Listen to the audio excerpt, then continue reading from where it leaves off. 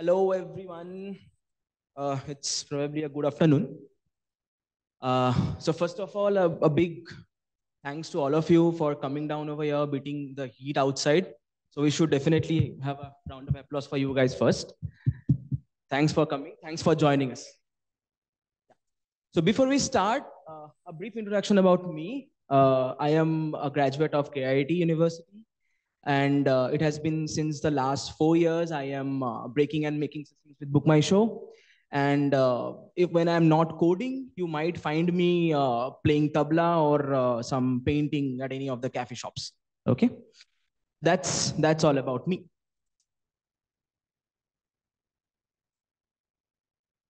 Yeah.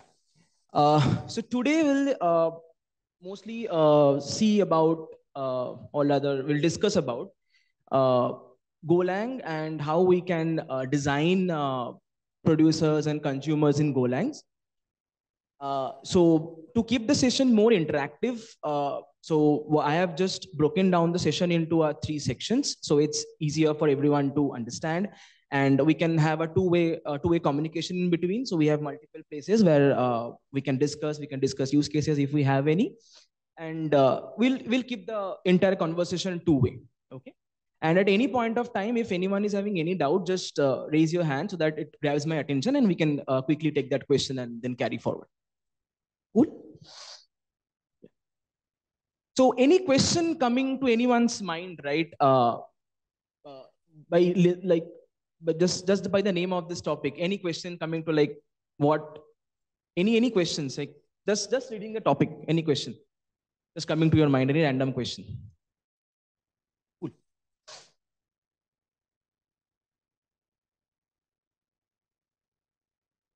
The first thing that comes to our mind when uh, we are uh, talking about concurrency, uh, the first thing is concurrency versus parallelism, right? What is concurrency and what is parallelism? In, in, in many of our uh, daily use cases, we might be using these two terms very frequently, but at the same time, we might not know the full difference or the full clarity at this point of time. Uh, so if you uh, if you see this, this is basically the a, a bookish definition. So two or more processes are said to be concurrent if they are executing seemingly at the same time. So mind the words in uh, this uh, highlighted in red. Uh, two or more processes are said to be in parallel if they are running exactly at the same time. So what makes the difference is basically this, this the part highlighted in red. We'll take a quick example. So to understand this, this bit. So let's take, we'll, we'll just uh, think it of as a story and uh, through the story only we'll understand the concepts. So consider I am a, uh, like I have just switched from developer and I am just uh, opening up my new restaurant, correct? At the starting point, I don't have much budget. So I have set up all the tables and everything is set up, but I have kept only one waiter. Okay. Uh, now the problem, this this this poor guy is literally confused now. What to do? This uh, is such a big restaurant having four four tables and customers are coming in. So what this guy has to do is uh, he will uh, go to one table, pick up the order, uh, maybe uh, just pick up the order for the starters first. Uh, he will go to the chef, place the order, and then again by the time you the first table decides what he has to order for his main course, he can go and uh, take the order for the next table, like take the starter order for the next table. Now, this guy is literally confused. Like he's going, to, running from one table to another and uh, taking one by one orders. And like, uh, like it's, it's, it's a bit on his part, correct? So let's replace this waiter with a, uh, with a single core system. So the waiter is just replaced by a single core system. Now what happens over here is uh, this Go scheduler is using only one core and it's taking one Go routine at a time. It's going to the uh, single core. It's executing that routine. It's again coming back and taking the next. This is this is the simple. This is just an analogy how the waiter is also performing in our case. All right. Now I have gathered some more money. My restaurant is going good. So I have deployed two waiters. Now the scenario becomes very simple. Okay. Now actually these two waiters can take order from two tables simultaneously. So he doesn't have to wait. Correct. So now what what what what have I, what I have achieved over here is I have achieved parallelism. Okay. So the same thing we will just replace this single core machine with multiple cores with multiple cores. We'll just replace the single core with multiple cores. Now, what happens at this point of time? This Go scheduler can actually execute multiple routines at the same time. We have achieved parallelism, and now we can e exactly execute multiple threads and multiple processes exactly at the same time. Let's consider a bit of a case. So uh, you guys must be aware about web scraping. Everyone is aware, right? Web scraping, what it is. Yeah. So uh, I just need to share the screen.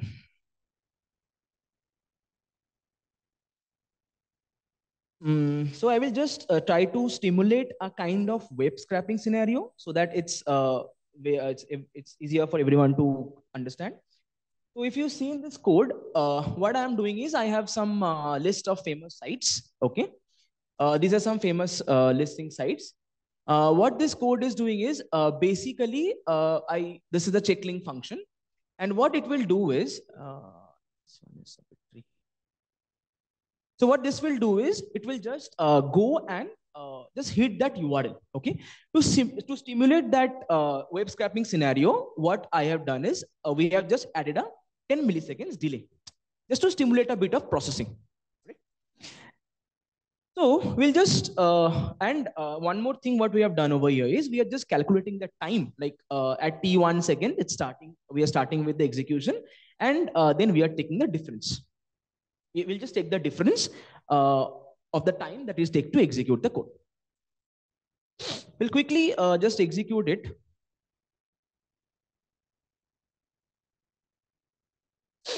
Uh,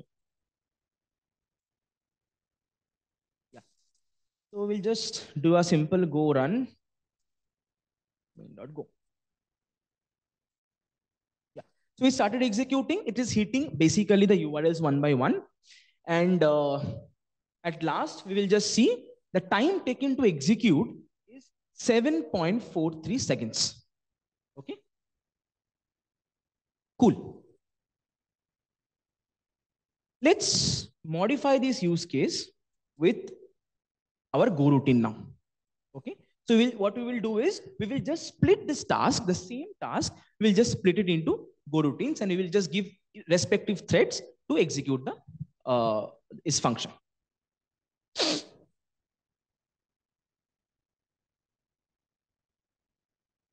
Yeah. Uh, just we'll just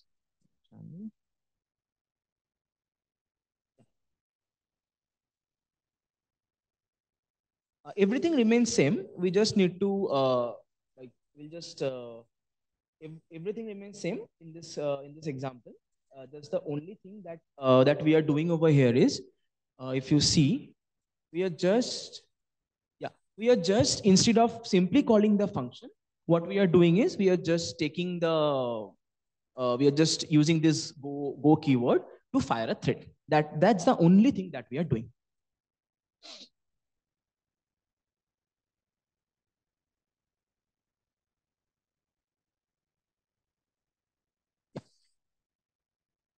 oh shit. Like what does happen right? We did nothing. We just uh, added a, a, thread and but unfortunately our uh, code didn't execute only if you see. So it's just uh, the time taken is in some nanoseconds and the code didn't execute actually. So let's understand what's the problem is. Okay? the full it's a gadbad scenario now. Okay? So let's understand what the problem is the problem is we have fired the go routines, right? Using this keyword, we have fired the go routines, but my main thread is actually not waiting for the child thread to complete its execution, correct? So to have a better control on this one, Go has something called as go routine. Okay. So the task of this go routine is it basically waits for your go routine to finish its execution. Cool.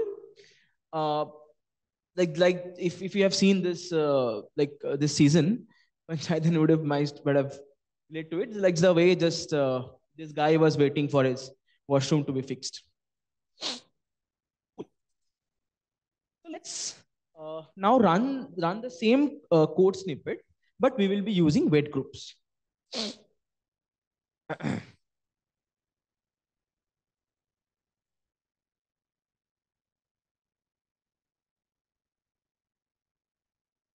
the, the everything remains the same. Uh, the only thing that we will be doing over here is, uh, yeah. So what we are doing, what uh, apart the everything like what previously we saw, everything remains the same. The only difference is we are creating a wait group now, and this uh, wait group is whenever we are iterating or whenever we are spinning up a new thread, we are just adding uh, uh, we are just adding one to it for the wait group to spawn. And at the next, we are just waiting for the wait group to complete. So this wait group will wait till uh, the my all my threads that's finished execution. Okay. So now we'll just quickly run this one.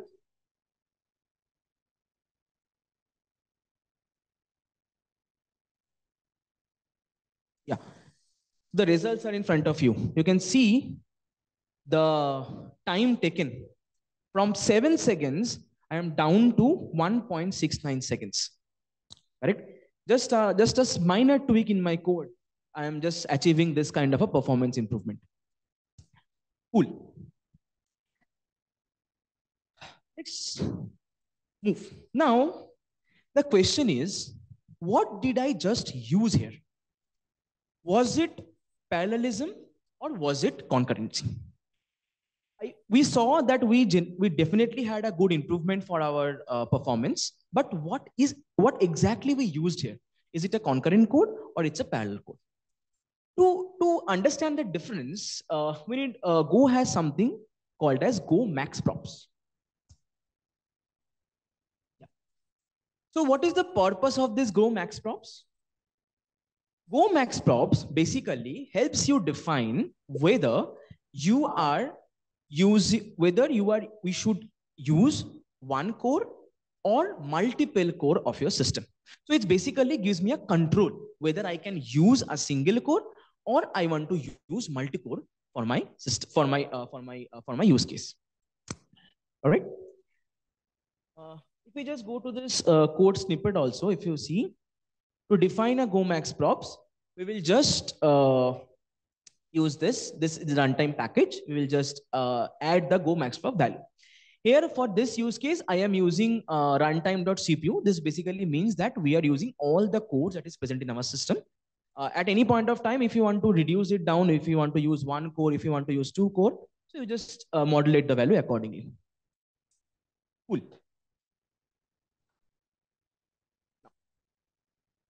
What benefit does this Go Max Prof gives me? It gives me a better performance tuning. So I am now with this GOMAXPROCS, I am I am able to control the number of threads. I am able to control the number of CPU my uh, program would use. My uh, so this gives me a, like I am not just unnecessarily wasting my resources. I am modulating it. I am calculating it, and I am then I am implementing it. Then gives a better resource management. So it, it is preventing me, like suppose I have some simple task, right? And I am using all my cores. That is not actually required. I can, it's, if it's a light task, I can definitely use only single core. That it gives me a better resource management. Next, it is giving me an optimal balance between my concurrency and parallelism. What should I use? So uh, as in the first diagram, if you have seen, if we are using multiple cores, we are basically achieving parallelism. And if we are using a single core, we are achieving only concurrency. Now, any questions, like any questions coming to your mind, like uh, using this grow props? The next question that uh, obvious for us to ask is, what, how can I determine this value? Like what value should I use in my code So everything is in balance. The first factor and the important factor is the number of CPU cores in my machine. How many CPUs I have in my machine. That is a very important factor because uh, like if I don't have the available resource, I cannot definitely cannot use it, correct? Then the nature of my task. What task or what action my thread is performing. Based on that, I have to modulate this value so that uh, my resource is not like I'm not I'm just not overutilizing my resources. Right. Uh, the third and the one of the most important point that comes is concurrency limitations.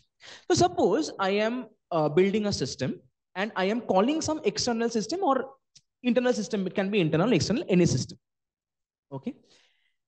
I Uh, I am a I am I am having a huge pool of resource. So I am using all my 8 core, 16 core machines and I am firing threads. I am firing maybe 100, 200 threads, right? But the external system is not that scalable to handle that kind of load. So what I'm doing is basically I'm wasting my resources, right?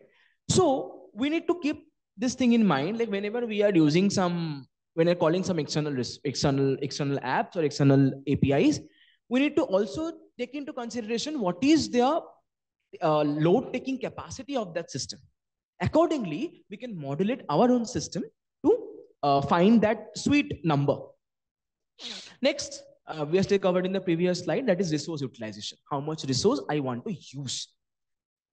And also, if we have profiling in our code based on those numbers, based on the uh, based on this analysis, I can come to that number. Like what would be the good number for my max purpose. Cool. Now, let's go back again to the uh, my uh, restaurant example. Now, I have like I have scaled my I, I am I'm a rich guy now, right? I have I have scaled my uh, restaurant to next level, right? Now, what I have done is I have employed n number of waiters. Okay so now consider these waiters don't have a, like they don't gel up with each other. So they don't talk to each other. The waiters are doing their job very well, but they are segregated from each other. They don't talk, they don't talk much. So this one table, uh, this single table, this guy is also coming to take the order. Uh, this, uh, the customer has already placed the order. The second guy is again coming to take the order.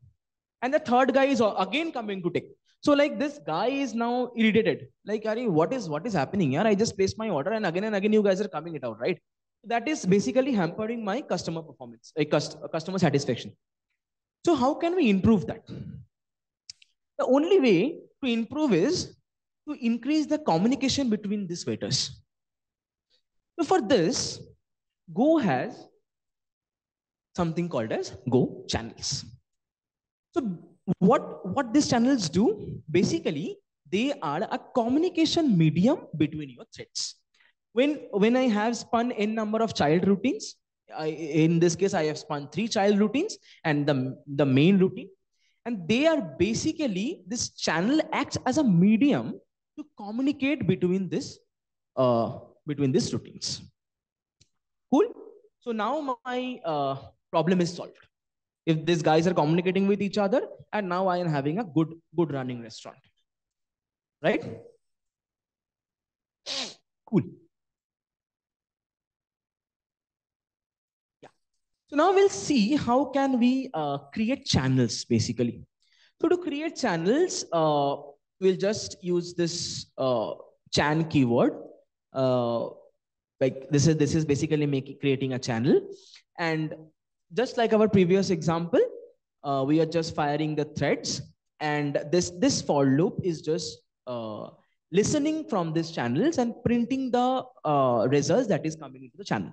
So all my threads, what they are doing is they are basically uh, pinging, they are just doing a get to that link. And uh, based on the results, if it's an error, it will uh, push a message that site is down. If it's up, it will give a link is up. Okay.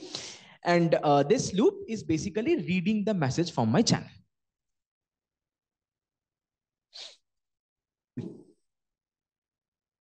Now, we have increased the uh, communication between the channels. Go gives us the option to two kinds of channels. One is a buffered channels. So what this buffer channel do, we call it as an asynchronous mode of communication. So these channels have a special buffered size. They can hold the data, right? So what, why we call it as asynchronous? Because in this, you, in this buffered channels, the producer is producing the message to the channel and the consumer, which is consuming the messages from your channel can work at its own pace. So for example, this, uh, like the producer, uh, like maybe pushing the messages in burst, maybe 10 packets at a time, 20 packets at a time. And my consumer can uh, like consume the message at his own pace. For this kind of use case, we uh, are using the buffered channels. Uh, first of all, like uh, maybe you find too many of this uh, panchayat memes. It does not a promotion or anything or sign of that sort. I just, uh, while just coming down to Mumbai, I saw a big banner. So I just thought of maybe that would be a good point of reference to connect with you guys. There is this, this is not a promotion or anything. Then we have something called as unbuffered channels. Okay. So these are basically synchronous mode of communication. In this case, the as and when the consumer produces the uh, the producer produces the message, the consumer has to consume it, and there is no room for delay. Cool.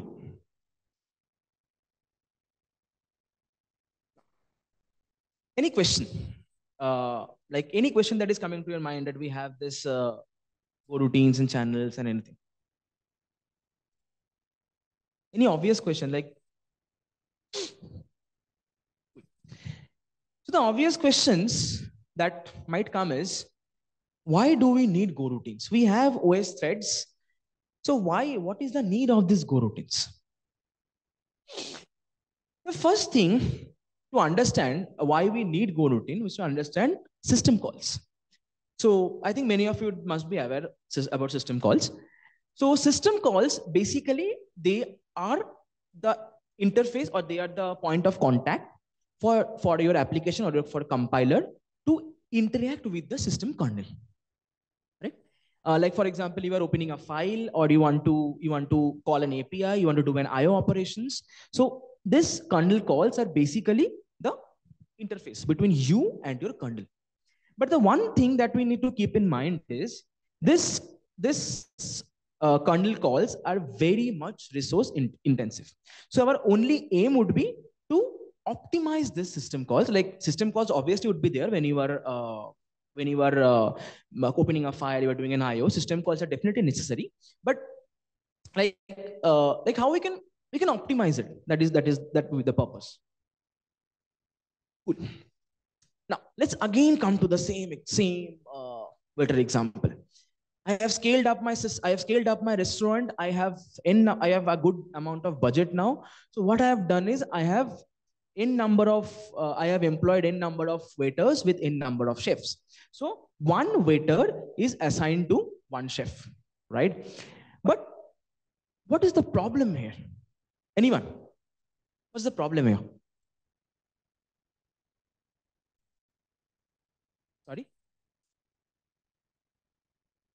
Correct. That's it. So the chefs in my case, all not only the chefs, the waiter is also underutilized, right? Because uh, they are, although it's a one-on-one mapping, but I cannot expect a full house in my restaurant every time, right? So I am basically wasting my resources. I am uh, one waiter, like it's like sitting idle. Maybe maybe he's having only one order for a day, and less of them sitting idle, right? So how to optimize this one? Definitely, the best thing that comes to our mind is we will implement an order queue. What it will do is the waiters will come, put the order in that queue, and the chef can take the order, prepare the order, and pass it to the waiter, and the waiter can deliver it to the customer. This is a very simple. I am just uh, assigning n waiters to m chefs. Cool.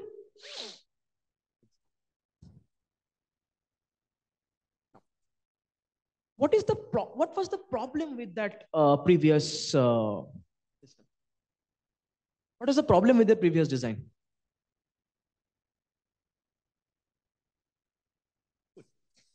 So the problem with my previous design was I am having a single order queue. No, I am having only one order queue. Now imagine my all my waiters are coming and putting down order in that same queue and all the chefs also using that same queue to take the order. So my order queue is now cluttered. Correct? Now to manage that better, what will I do? I will just add a mutex. So what I will do, like whenever a guy is, a waiter is coming to place its order, I will just add a lock so that he can place his order. And I will then release the lock so the other waiters can place its order. Similarly, when the chef is taking that order, we'll just again, like we'll add a read lock again, we'll just lock. The chef can read it and then we'll unlock. So now what I am wasting over here is most of my time I am wasting to lock and unlock this queue. I have implemented a very uh, good synchronized system, but now most of my time I am wasting is to just create the locks and unlock the unlock the queue. Now, what can I do now? So I can create local instances of the queue so that I don't, I, I here also I will have to apply lock to the main queue, but my number of locks would be reduced to a great extent. So I am just creating local queues and this local queues will have the data that only needs that is needed by the thread to process the process the process for the purpose of the thread to process it has the data and along with its own set of memory. So this this this unit this area marked in blue has all the required details with its own its own local queue its own like memory its own values own own, own variables with him so that it can it can execute its own. It doesn't have to depend on the global queue and once the execution is done, at that point of time, it will take a lock. It will just uh, push the message to the result to the global queue and it will, so that, and, and it will get itself free. That's what is done by our Go scheduler. This is how Go scheduler is basically managing between the threads and uh, managing between your routines and uh, making, making this Go routines a lighter one.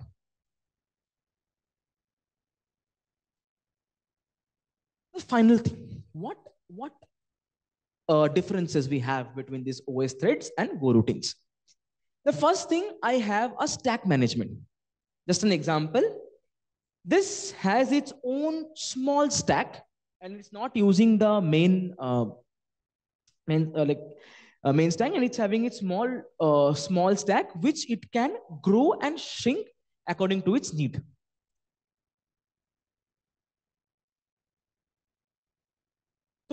So that I am not wasting too much of my memory. It is having its own own stack and uh, owns it is uh, so that own stack and it can grow and shrink according to my need. Next, scheduling. So uh, this example we saw, we have n number of waiters with m number of chefs. The same thing is done by Go as well. So I can schedule it better. I can I can control it. Okay, it is giving me a good control on my uh, and it if I am scheduling it better, so I will have a efficient context switching. Okay. So I think you guys are aware that the, the context switching is the most uh, resource intensive for any uh, CPU, right? With Go routines, I have these channels. I have, uh, which is basically a power, very powerful tool to have that communication between your uh, uh, between your threads. So along with these Go channels, wait groups, I can have a I can, I can design a good uh, concurrency model. And definitely, as my threads are now lightweight, I will have a good, I will have a very good performance improvement.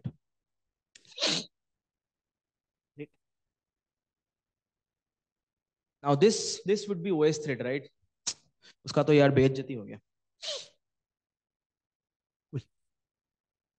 Let's summarize a bit like uh, what we covered so far.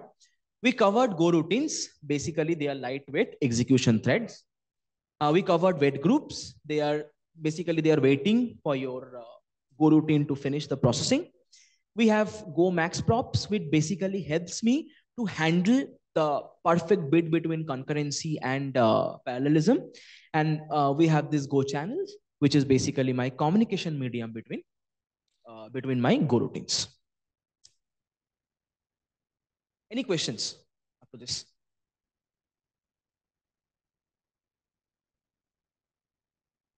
There's a no. Well, section two, we'll understand how we can implement this concurrency that we uh, that we discussed so far. So now my restaurant has scaled up a bit, scaled up a lot. Okay. So I have started online delivery of orders as well. So uh, as and when so i have i have deployed this uh, three delivery guys who are always ready on their scooter to deliver the order. Now as and when the my order is prepared in my restaurant any one of this delivery guy will pick this order and deliver it. And again he will come back and wait for the next order. Same thing we will implement in go how can we do this we'll have basically a channel and we will have process threads ready and listening to this channel. Whenever a message is coming to this channel, any one of the process thread will pick up the message, execute it, and again wait for its next message to come. We'll just implement a same kind of design uh, in Go.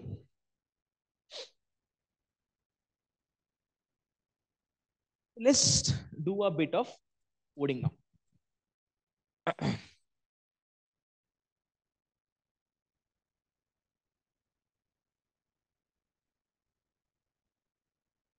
we'll take the same, uh, uh, we'll take a bit of different example now.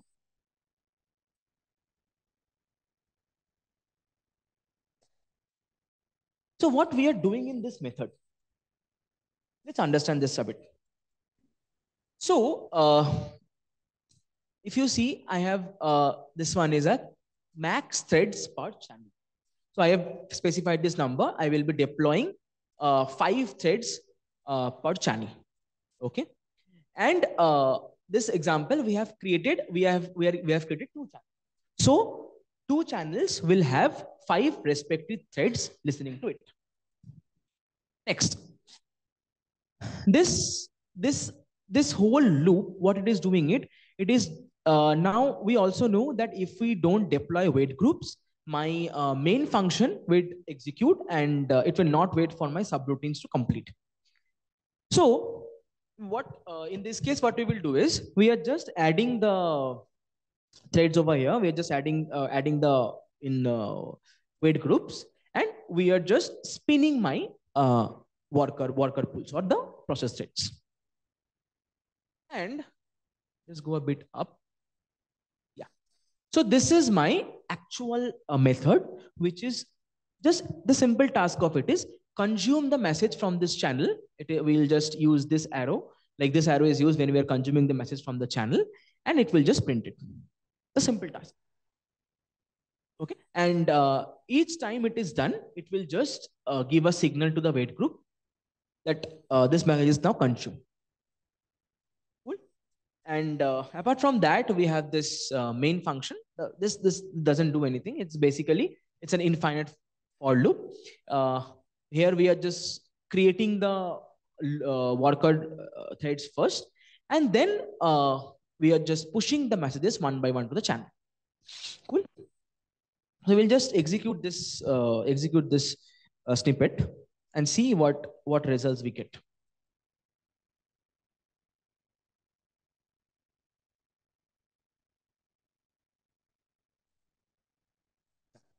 In a similar fashion, we'll just, uh, if you see that all my consumer threads are initiated. And as and when the message is coming to my uh, channel, one of the threads is uh, processing. If you see uh, hello in first channel, message number one. So it's basically consuming the messages. My threads are started working and uh, it's consuming the message and printing it out.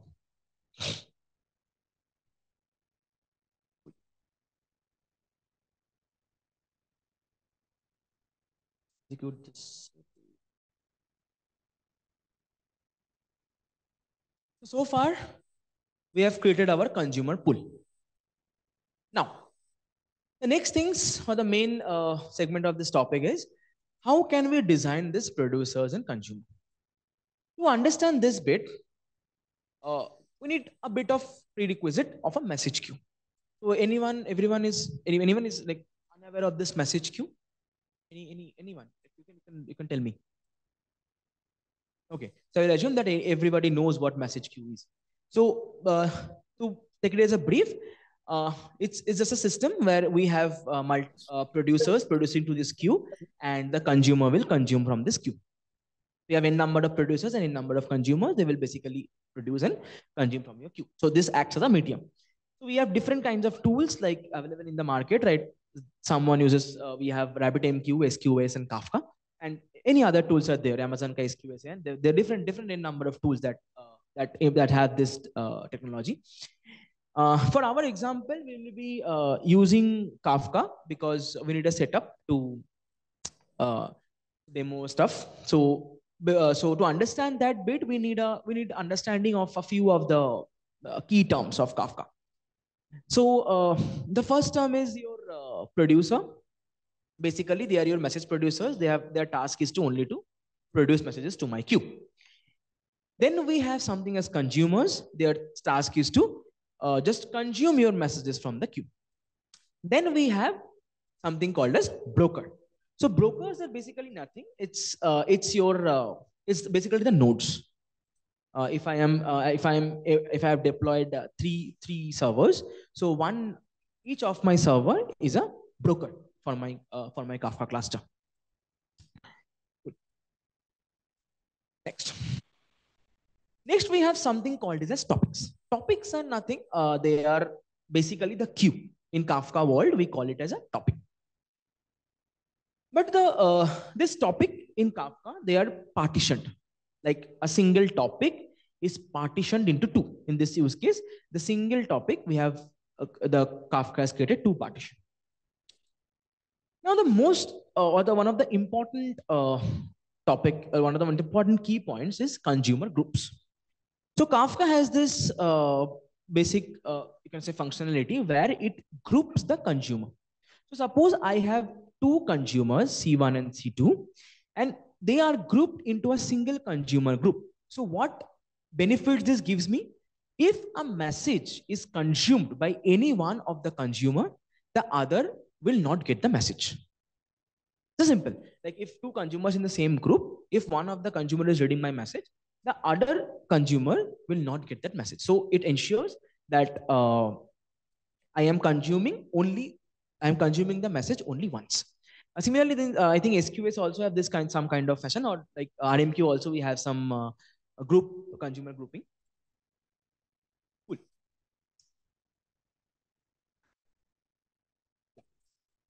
So for this use case, uh, the same topic we have broken it down into four partitions. Now, uh, what is happening is, uh, now what what it is doing is, if you see, Kafka has assigned one partition to each of the consumers and all these are lying in the same group. So in this use case, we have two consumer groups, consumer group one and consumer group two. Consumer group two has two consumer and uh, this Kafka, what it has done is it will uh, assign two threads to each consumer. And on the other hand, this, this group is having uh, four consumer. So it will give one consumer, uh, one partition to each of the consumer. The basic funda remains the same. If any one of the uh, consumer, suppose from group, uh, group two, any one of the consumer has already consumed the message. So none other consumer needs to consume it. It will, the Kafka will not give the message to any one of the consumer. Simple. We'll do a bit of a setup. Uh, if anyone is uh, trying hands-on with me, uh, just let me know so that I will wait. Yeah, you can uh, you can go to this link. Uh, if anyone is not able to access the link, you, uh, you can directly go to this. Yeah, you can directly go to this. Uh,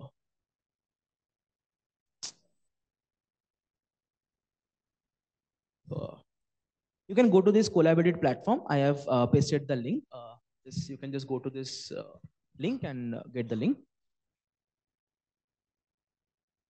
From there, you can download the resources and uh, just a CD, Docker, and uh, our whole setup is up and running. Cool. Yeah. So, so this is just a bit of an UI to give a, a, visual feel like what is happening under the hood. Uh, so there we have uh, one one topic Yeah. So here we have uh, this, if you see this, uh, we have a number of topics. And uh, this is one of my test topic. And uh, if we just quickly Yeah.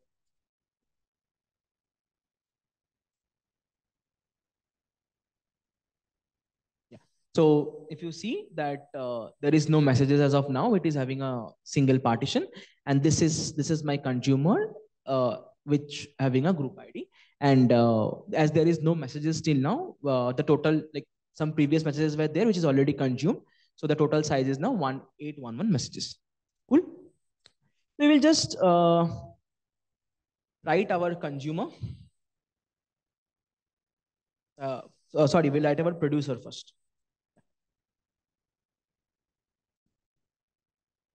To refer to this code snippet, uh, what we are doing is, uh, if anybody access the link, you will get that uh, full repo over there only, and you can just clone it and use it what it is doing is uh, hmm, but basically basically creating the connection to the Kafka server first, and uh, it, it will just uh, put 100 messages one by one using this write message command. Okay, just to note that uh, for this example to demo we are using Kafka, but the but the same uh, architecture, the same thing you can that can be implemented in any other platform that you are favoring. Cool. So we'll just uh, run this code.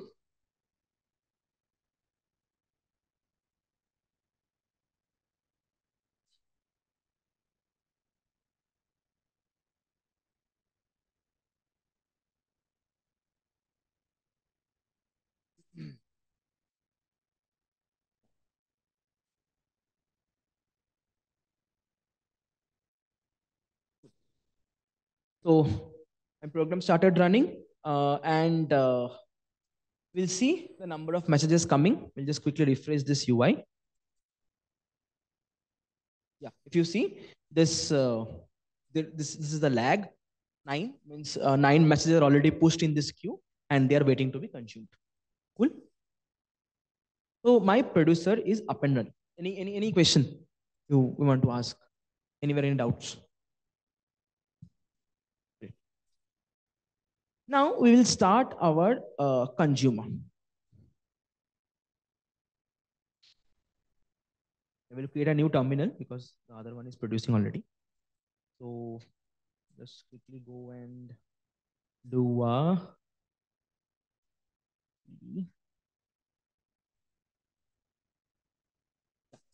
we'll just quickly look into uh, our consumer code now. So what it is doing, uh, it is basically a simple, simple consumer, and uh, it the only uh, we are just consuming the messages. It's it's a it's a forever like uh, this one is a uh, infinite loop which is just waiting. It is reading the messages and it will print the messages uh, one by one. So we'll just run this code.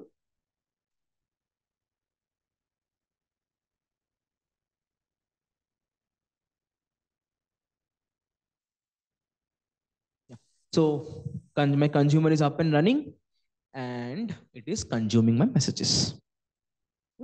So in this example, it's just a simple, simple consumer. Now, next what we will do is we will implement our worker pool into this consumer. We'll go to the slide.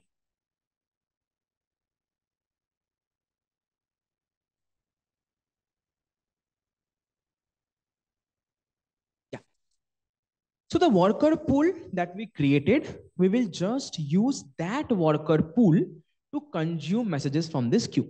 The design remains the same. If you have seen, the diagram also remains the same. Just we are consuming messages from this queue. So let's go and understand what how how we can how we can achieve this.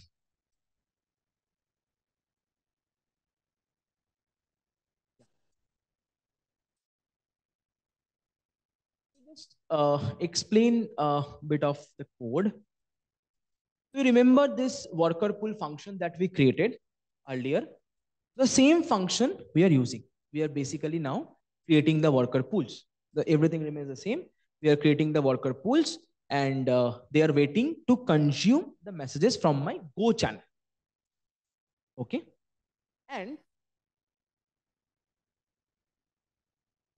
this, this, this, this function, what it does it, it will uh, push the messages it will it will consume the messages from the uh, from your uh, Kafka thread uh, from from your uh, message queue, and it will push the messages to your uh, Go channel. Okay, and the main function. Uh, it's basically initiating the consumer. It's basically, if you see, if it's basically creating the connection to the Kafka, and it will like just create and it will just read the messages. We'll go to the reader read message function as well.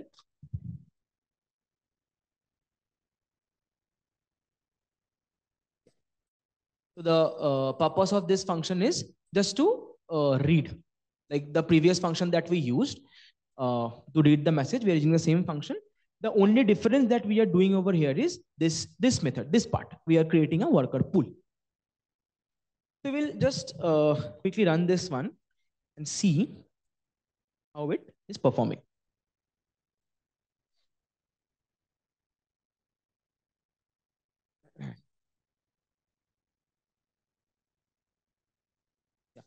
So we'll just do a cd. This will just go to the directory and uh, see like how it is working.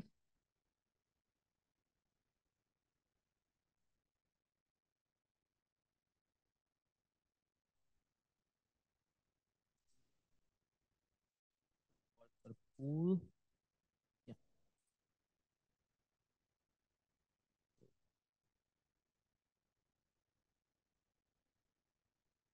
Yeah. Cool. So first thing, we have initiated all the threads. All my threads are listening now. The consumer is up and running. So my consumer is ready. Now what I need to do is I need to start my producer once again. Okay. Start the producer.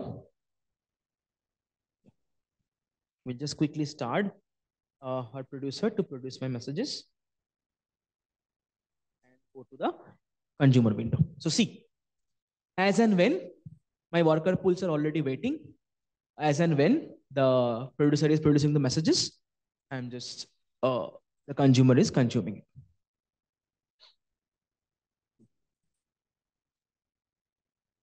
Go back to the slides.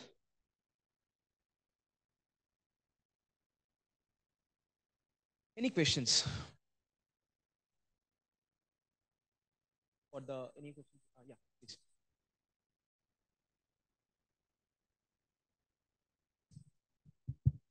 Kafka sounds similar to Go channels. So is it possible to use Go channels for multi-process communication? Yeah, uh, we are using that only, right? If you if you see this this architecture, right? Yeah. So uh, in in real life applications, uh, you cannot like if you're if you're having two systems, right, and you want to pass on the data, right, you cannot use Go channels. You have to have some message queue in place, correct? So what we are doing is this this is this is dash queue right? And inside when you're writing the consumer, you can use this Go channel, right? And the Go channel is basically communicating between your threads. The, the advantage I'm having over is instead of a single single uh, main thread running, I am I am deploying in number of I can deploy in number of process threads now. That my processing is faster. Got it. Thank you. Anyone else?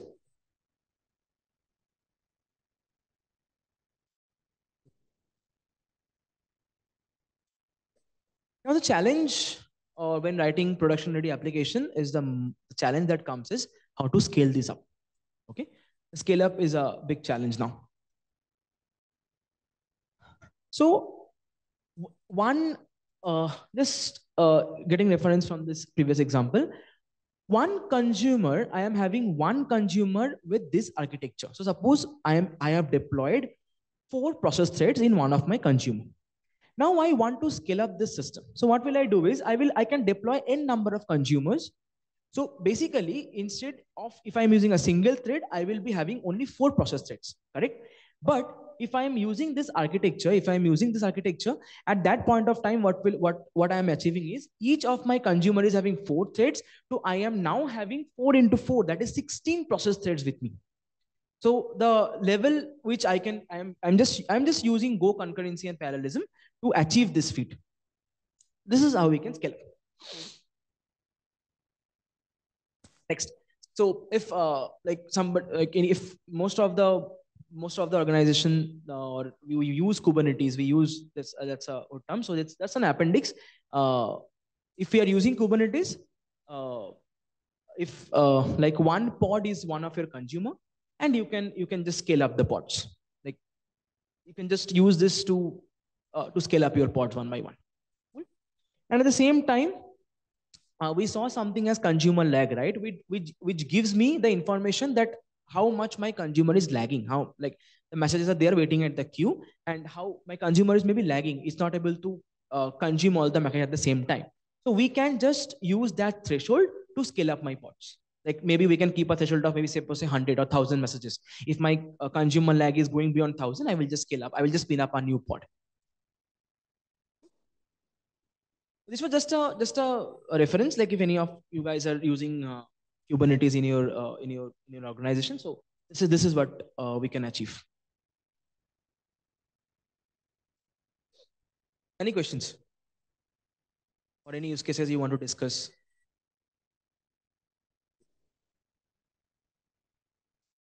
So one of the use case in BookMyShow, we are using this kind of a similar kind of architecture, uh, similar kind of pattern, is uh, for this one. So you might have you might be booking a ticket uh, on BookMyShow for a very uh, heavy, maybe maybe IPL or maybe some maybe some crazy event, right? Where every user is really crazy to get his own own ticket, right?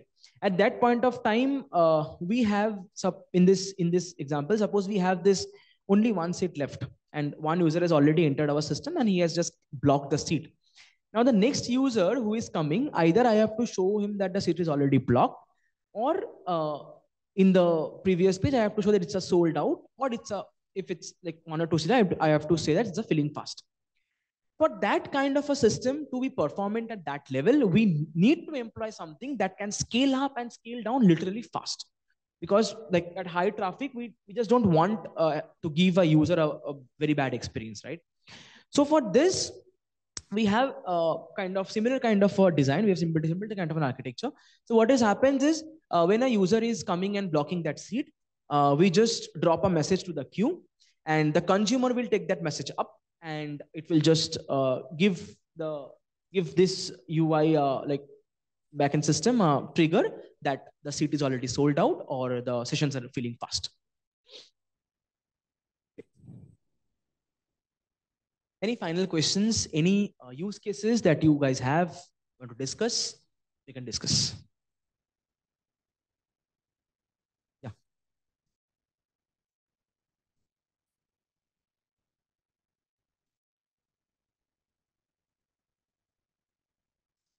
Uh, how Go handles uh, failures and cancellation of parallel tasks? Sorry? There are two processes which are running in parallel and one uh, the parent thread is waiting for these two uh, to get complete. Mm -hmm. but what if one fails in between? Okay right. So uh, got your question. Good question. So i will just take a example of this code snippet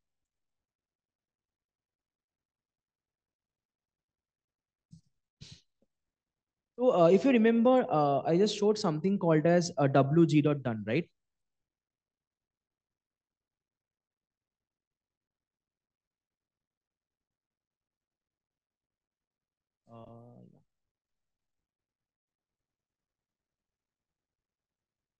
if you remember the statement, right? WG dot done.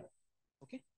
So this uh, basically it signals the wait group that it has done its execution. So at any point of time, the the uh, the previous keyword that is deferred, it makes sure that after the, it, it is the last statement for the function to execute. Okay. So if suppose uh, this method has failed, any chance like there is some error or something, this error has failed. At that point of time also, this, this statement will execute. Okay. So my uh, previous with uh, previous uh, this it's waiting over here, right? And once uh, irrespective of whether it's an error or any scenario, it will execute this done. So uh, go uh, the wait group will wait till every if all the it's getting a signal that everything is done, it will it will stop.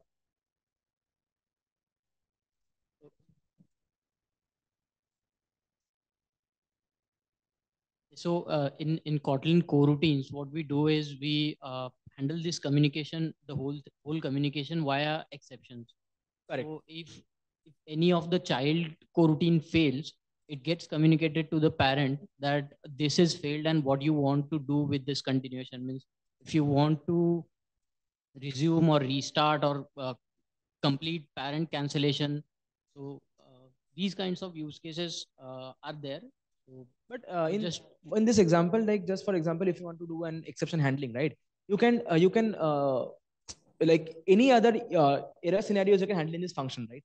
You can just give an error and uh, any kind of scenarios you can handle in this function. But this last line will execute after the scope. It, it is the last line of the function to execute.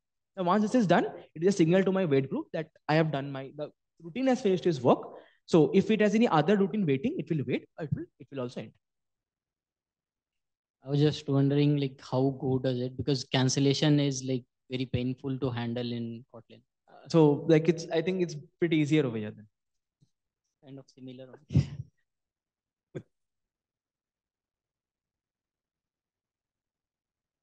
Yeah, so you can do it in two ways, right? So once in the code, you can see defer, right? Defer wg dot done. So even if there's an error in that function, that that statement will always be called, right? So that wg done, wg dot done will always be called. Uh, that's the first way you can. That's the first way it will happen. Even if it's an error, uh, it will return an error, or you can send it in the channel itself.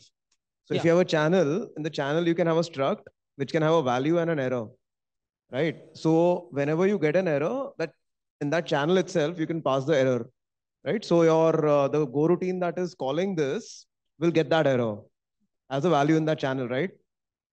So then you know that okay, what error it is, and then you can handle that error, right? That's the second way. Third way is you can pass a context.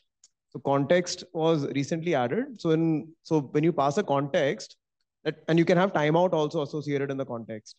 So if uh, suppose uh, there's no heartbeat in the Go routine or whatever, right? That context can automatically be executed.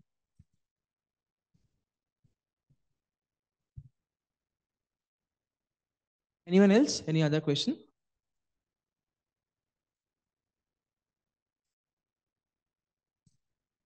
Cool, cool. Thanks a lot. Thanks a lot, guys. Thanks a lot.